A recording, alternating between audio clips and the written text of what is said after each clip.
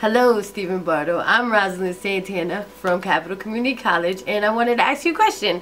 I wanted to know which ability is most important for a leader to have, and um, I'd be happy to hear from you.